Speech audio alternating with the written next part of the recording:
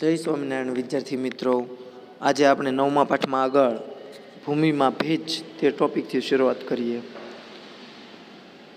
શું તમે ક્યારેય ઉનાળાના ગરમ દિવસોમાં ખેતર નજીકથી પસાર થયા છો? જો તમે પસાર થયા હો તો તમને ખબર હોય, તેમાંથી ભેજયુક્ત હવા ઉપર જતી હોય તેવો અનુભવ થાય. પ્રવૃત્તિ નવ પોઈન્ટ પાંચ દ્વારા આપણે અભ્યાસ કરીએ. એક ટેસ્ટ ટ્યુબ લેવાનું છે. તે ટેસ્ટ ટ્યુબમાં તમારે માટી ઉમેરવાની છે. અને તે માટી તમે ઉમેરશો, થોડી ભીનાશયુક્ત હોય અથવા તો ભીની ન પણ હોય અને ગરમ કરશો, તો તમે જોઈ શકશો કે ગરમ કરવાથી આજુબાજુમાં ભેજયુક્ત હવા છે એ તમને માટીમાંથી ઉત્પન્ન થતી જોવા મળે. એટલે પાણીના અમુક અમુક ડોટ્સ એટલે કે બિંદુઓ તમને દેખાય છે ક્યાંક ક્યાંક. બરાબર છે. ગરમ કરતા પાણી ભૂમિમાંથી બાષ્પ રૂપે બહાર નીકળે છે, ઉપર જતાં બાષ્પ ઠંડી પડે છે અને ઉત્કલન નળી ઉપરની અંદરની સપાટી પર જામે છે.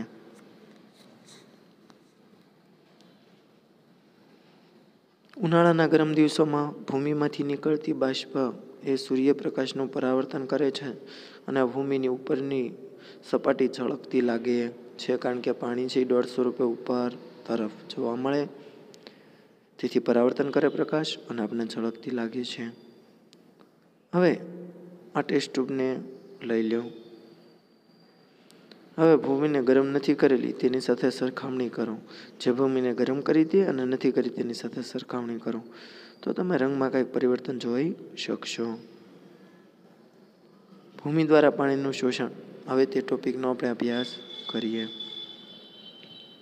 શું બધી જ પ્રકારની ભૂમિ એક સરખી રીતે પાણીનું શોષણ કરે છે? તો કે ના, પાણીનું શોષણ છે એ અલગ અલગ જોવા મળે, જે આપણે પ્રવૃત્તિ નવ પોઈન્ટ છ દ્વારા અભ્યાસ કરીએ. એક ત્રિપાઈ લીધેલી છે, ત્રિપાઈ એટલે સ્ટેન્ડ. તેમાં તમે જોઈ શકો છો ગળણી મૂકેલ છે. એ ગાળણપત્ર અથવા સમાચાર પત્રનો ટુકડો લઈ તેને વાળીને ગળણીની ઉપર મૂકી દો. નીચે બીકર રાખેલ છે. પચાસ ગ્રામ કોરી પાવડરવાળી ભૂમિ લ્યો. હવે અંકિત નળાકારની મદદથી નિશ્ચિત માત્રામાં પાણી લઈ તેને ટીપે ટીપે ભૂમિ પર નાખો. અંકિત નળાકારની મદદથી માપ યાદ રાખવાનું છે. બરાબર, નિશ્ચિત પ્રમાણમાં પાણી જવું જોઈએ. બધું જ પાણી એક જ સ્થાન પર ન પડવા દો, અલગ અલગ સ્થાન પર તેને મૂકવાનું છે. જ્યાં સુધી પાણી ટપકવાનું શરૂ ન થાય, ત્યાં સુધી તેમાં પાણી ઉમેરો. અંકિત નળાકારમાં વધેલું પાણી, મૂળ લીધેલી પાણીની માત્રામાંથી બાદ કરો.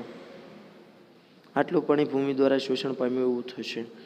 બરાબર, અંકિત નળાકારમાં જેટલું તમે પાણી ઉમેર્યું હતું, તો તેમાંથી કેટલું પાણી નીચે આવ્યું છે? તે જોઈ લો. એટલે શું કરશું? તો કે ભૂમિ માટીનું વજન બરાબર પચાસ ગ્રામ છે. અંકિત નળાકારમાં શરૂઆતમાં લીધેલ પાણીનું કદ યુ મિલી બરાબર સો મિલી છે દાખલા તરીકે. બાકી રહેલ પાણી કેટલું છે? તો કે સાઠ મિલી છે. બાકી સાઠ મિલી વધ્યું છે? બરાબર. ભૂમિ દ્વારા શોષણ કેટલું પામ્યું હતું એ જોવું હોય તો યુ માઇનસ વી કરવું પડે. કુલ સો લીધેલું હતું. સોમાંથી જેટલું મળ્યું, એટલે કે અંકિત નળાકારમાં મળ્યું તે બાદ કરો. અંકિત નળાકારમાં સો હતું, બીકરમાં તમને સાહીઠ મળ્યું, તો સોમાંથી સાહીઠ બાદ કરો, એટલે ચાલીસ. હવે આપણે જોઈએ શોષાયેલ પાણીના ટકા કેટલા? તો યુ માઇનસ વિના છેદમાં પચાસ, કારણ કે પચાસ ગ્રામ માટી હતી, ગુણ્યા સો. બરાબર? તો એંસી મળશે. હવે આપણે જોઈએ. ગ્રામ અને કિલોગ્રામ હકીકતમાં દળના એકમો છે. એક ગ્રામ અને એક કિલોગ્રામ દળનું વજન, એક ગ્રામ અને એક કિલોગ્રામ હોય. પરંતુ સામાન્ય રીતે રોજિંદા વ્યવહારોમાં વેપાર અને ઉદ્યોગોમાં ગ્રામ અને ગ્રામ વજનના તફાવતને અવગણવામાં આવે છે એટલે એની કંઈ જરૂર નથી. આમ અલગ અલગ તમે જોઈ શકો છો, રેતાળ પ્રકારની ભૂમિ, ગોરાડુ પ્રકારની ભૂમિ અને માટી પ્રકારની ભૂમિને આ રીતે પ્રયોગ કરો અને કેટલું પાણી છે એ આવે છે જો તો રેતાળ ભૂમિમાં મોટાભાગનું પાણી છે બહાર વહી જશે એટલે શોષણ નહીં પામે, ગોરડોમાં મધ્યમ પામે અને માટીમાં વધારે શોષણ પામે. કયા પ્રકારની ભૂમિમાં વધુમાં વધુ અંતઃસ્ત્રવણ દર જોવા મળે છે? કયા પ્રકારની ભૂમિમાં ઓછામાં ઓછો અંતઃસ્ત્રવણ દર જોવા મળે છે? તે આકૃતિ પરથી તમે કહી શકો. કયા પ્રકારની ભૂમિ પાણીને ખૂબ જ ઝડપથી અંદર જવા દેશે કયા પ્રકારની ભૂમિ વધુ વધુ માત્રામાં પાણીનું શોષણ કરે અને કઈ ભૂમિ ઓછામાં ઓછું કરે છે?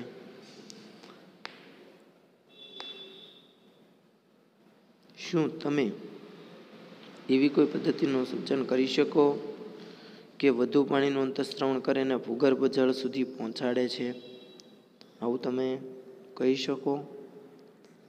તો બુજોને એવો વિચાર આવ્યો કે વરસાદના આઠ દસ દિવસ પછી તળાવ અને કૂવામાં પાણીનું સ્તર વધે છે. આઠ દસ દિવસ પછી તળાવમાં પાણીનું સ્તર વધે એવું શા માટે? તો જોઈએ હવે ટોપિક ભૂમિ અને પાક વિશેનો અભ્યાસ કરીએ. તો અલગ અલગ તમને નકશામાં અલગ અલગ ભાગ આપ્યા છે, તેમાં અલગ અલગ પ્રકારની ભૂમિઓ જોવા મળે. કોઈ જગ્યાએ રેતાળ છે, તો કોઈ જગ્યાએ ગોરાડો અને કોઈ જગ્યાએ માટીવાળી ભૂમિ છે, ચીકણી ભૂમિ છે. તો તે તમે આકૃતિમાં, નકશામાં દર્શાવ્યા મુજબ ભાગોમાં તમે જોઈ શકો છો.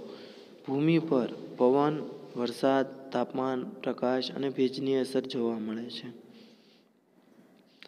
આ કેટલાક મહત્વના પર્યાવરણીય પરિબળો છે. જે ભૂમિના ગુણધર્મો અને બંધારણમાં ફેરફાર લાવે છે. બરાબર, આ બધા પર્યાવરણીય પરિબળો છે. પર્યાવરણીય પરિબળો અને સાથે સાથે ભૂમિના ઘટકો જે પ્રદેશની વનસ્પતિઓ અને પાક ઉગશે તે નક્કી કરે છે. ચીકણી અને ગોરાડું બંને પ્રકારની ભૂમિ એ બહુ ઘઉં અને ચણા જેવા પાકો માટે યોગ્ય છે. આ પ્રકારની ભૂમિ પાણીને જકડીને રાખે છે. ચોખા જેવા પાક માટે ભૂમિ, ચીકણી અથવા કાર્બનિક પદાર્થો અને ઊંચી જલધારણ ક્ષમતાવાળી હોવી જોઈએ. બરાબર છે. મસૂર અને અન્ય કઠોળ માટે ગોરાળુ ભૂમિ, જેમાં સરળતાથી અંતસ્ત્રવણ થાય તે જરૂરી છે. મસૂર અને અન્ય કઠોળો માટે કપાસ માટે રેતાળ અથવા ગોરાડું, જે સરળતાથી અંતસ્ત્રવણ થવા દે અને વધુ માત્રા, વધુ પ્રમાણમાં હવા ધરાવે તે વધુ યોગ્ય કહી શકાય. ઘઉં જેવા પાકને ચીકણી માટીમાં ઉગાડવામાં આવે છે કારણ કે તેઓ સેન્દ્રિય પદાર્થોથી ભરપૂર હોય છે અને ફળદ્રુપ હોય છે. તમારા માતા પિતા ખેડૂત મિત્રો વગેરે ભૂમિના પ્રકાર અને તેમાં ઉગતા, ઉગી શકતા પાકો વિશેની માહિતી તમે મેળવી શકો તે મેળવજો. આ ઉપરાંત કોષ્ટક તમને આપ્યું છે પાઠ્યપુસ્તકમાં તે જુઓ. એક બાજુ ભૂમિનો પ્રકાર છે, બીજો જોવા માટેના છે. કયા પ્રકારની ભૂમિ ચોખા ઉગાડવા માટે સુયોગ્ય છે? વધારે અંતઃશ્રવણ દર્શાવતી કે ઓછું અંતઃશ્રવણ દર્શાવતી? બરાબર આ પ્રશ્નોના ઉત્તર મેળવવાનો પ્રયત્ન કરજો. તો કે ચીકણી માટી છે, તેમાં જોવા મળતો પાક ઘઉં છે. ચીકણી ઊંચી જલધારણ ક્ષમતાવાળી છે, તો તેમાં જોવા મળતો પાક ચોખા છે. ગોરાડુ જમીન છે, તો તેમાં જોવા મળતો પાક કપાસ, મસૂર અને અન્ય કઠોળ છે. એક કેસ સ્ટડી જોઈએ તો કે જોન રશિદા અને રાધા. આ ત્રણ મિત્રો લીલાધર દાદાને ત્યાં ગયા. લીલાધર દાદા શું હતા અને સંતોષ માલવીયન ત્યાં. લીલાધર દાદા ભૂમિનો પિંડ બનાવી રહ્યા હતા, જેમાંથી સુરાહી, મટકી, તાવડી વગેરે બનાવી રહ્યા હતા. આકૃતિમાં તમે સુરાહી, મટકી અને તાવડીના ચિત્રો જોઈ શકો છો. તેઓની વચ્ચે લીલાધર દાદા સાથે થયેલ વાતચીત નીચે મુજબ હતી. ભૂમિ ક્યાંથી મેળવાય છે? આવો પેલો પ્રશ્ન હતો કે મિત્રોએ પૂછ્યો હતો કે ભૂમિ ક્યાંથી મેળવાય છે? અમે તો કે લીલાધર દાદા જવાબ આપે છે કે અમે ઉજ્જડ ભૂમિના ટુકડામાંથી કાળી માટીને પસંદ કરીએ છીએ. માટીનો પિંડ કેવી રીતે બનાવાય છે? એવું પૂછ્યું મિત્રોએ. તો ત્યારે જવાબ આપ્યો લીલાધરે કે કોરી માટી એક મોટા ટાંકામાં લેવામાં આવે છે, તેમાંથી કાંકરા વગેરે કાઢીને ચોખ્ખી કરવામાં આવે છે. જેથી આ બધી વસ્તુઓ દૂર કરીને આઠ કલાક સુધી માટીને પલાળવામાં આવે છે. થોડાક લાદ ઉમેરીને માટી ગુંદવામાં આવે છે. બંધાયેલી ભૂમિને સાંકડા પર મૂકવામાં આવે છે અને ચોક્કસ આકાર અપાય છે.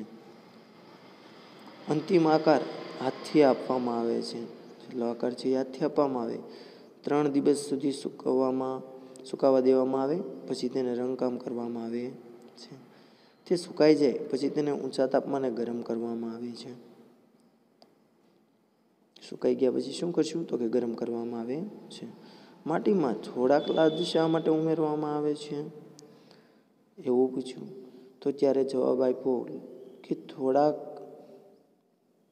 થોડાની, તમે જોઈ શકો છો આકૃતિમાં પાણી માટલી કે સુરાહીમાંથી અનુસ્રવિત થઈને બાષ્પમાં રૂપાંતરિત થાય છે અને અંદરના પાણીને ઠંડુ કરે છે. આવું જોવા મળે છે. તમને સોહાગપુરની સુરાહી અને માટલા વિશે માહિતી હશે જ, જે જબલપુર, નાગપુર અને અલ્હાબાદના, અલ્હાબાદમાં પ્રખ્યાત છે, સુરાહી અને માટલા. હવે તેના પછીનો આપણે ટોપિક જોઈએ કે ભૂમિનું ધોવાણ કેવી રીતે થાય છે. ભૂમિની સપાટીનું પાણી પવન કે બરફ દ્વારા દૂર થવાની પ્રક્રિયાને ધોવાણ કહેવાય. કોના દ્વારા? તો કે ભૂમિની સપાટી હોય, પાણી દ્વારા, પવન કે બરફ દ્વારા જો એ દૂર થાય, તો તેને ધોવાણ કહેવાય. વનસ્પતિના મૂળ ભૂમિને નિશ્ચિત રીતે પડે છે. વનસ્પતિની ગેરહાજરીમાં ભૂમિ કેવી પડે? ઢીલી પડે. વનસ્પતિ ન હોય તો. જેથી તે સરળતાથી પવન અને વહેતા પાણી દ્વારા ચલિત થાય છે. ઉપરનું પડ દૂર થાય છે ભૂમિનું. તમે આકૃતિમાં જોઈ શકો છો કે પવનને પાણીને કારણે મોટાભાગે ઉપરનું સ્તર છે દૂર થતું હોય છે અને તિરાડો પડતી હોય છે. ઘણી નાની વનસ્પતિ હોય તો તે દૂર થતી જોવા મળે છે. આ માટે આપણે નાના છોડ વાવેલા હોય તો તે પણ દૂર થાય છે. હવે લાસ્ટ ટોપિક આ પાઠનો. ભૂમિ જીવનથી ભરપૂર. તેના વિશે આપણે અભ્યાસ કરીએ. એક દિવસ વર્ષા ઋતુમાં પહેલી અને બુજોએ પડોશિયાને ભૂમિમાંથી બહાર નીકળતું જોયું. આ આકૃતિમાં જોઈ શકો છો. તે મુજબ અળસિયાને તેને જોયું. પહેલી વાર આશ્ચર્ય થયું કે અન્ય સજીવો પણ ભૂમિમાં હશે. તો ચાલો આપણે શીખીએ. પ્રવૃત્તિ નવ પોઈન્ટ એક.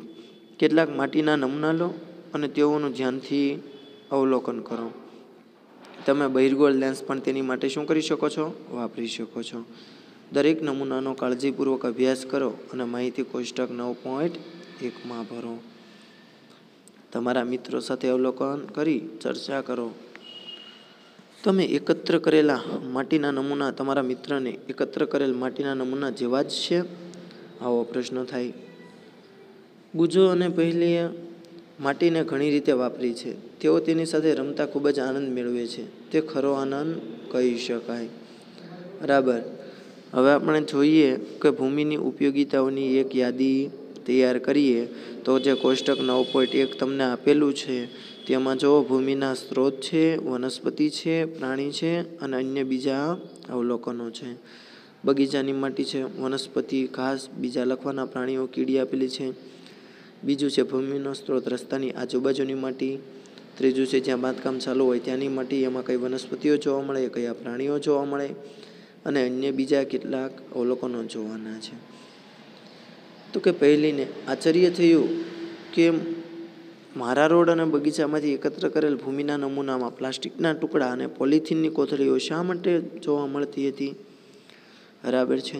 તો કે આજુબાજુમાં સૌથી વધારે પોલિથીનની અને કોથળીઓ એ છે જે પ્લાસ્ટિકના એ ભૂમિના પ્રદૂષકો છે, એટલે ભૂમિમાં પ્રદૂષણ ફેલાવે છે. તેથી જ પોલિથીન અને પ્લાસ્ટિકની કોથળીના વપરાશ પર પ્રતિબંધ હોવો જ જોઈએ. આકૃતિમાં જોઈ શકો છો ઘણું છે એ પ્લાસ્ટિકની પોલિથીનની કોથળીઓ, કચરો વગેરે પાણીમાં નાખવામાં આવે છે. રસાયણો પણ પાણીમાં ભળે છે. જંતુનાશકો પણ પાણીમાં ભળે છે. કચરો અને રસાયણો પર પ્રક્રિયા કર્યા પછી તે ભૂમિમાં મુક્ત કરવા જોઈએ. જંતુનાશકોનો ઉપયોગ ઓછામાં ઓછો થાય તે ધ્યાન રાખવું જોઈએ. તો અહીંયા સુધી રાખીએ. અહીંયા પાઠ પૂરો થાય છે. અસ્તુ જય સ્વામિનારાયણ.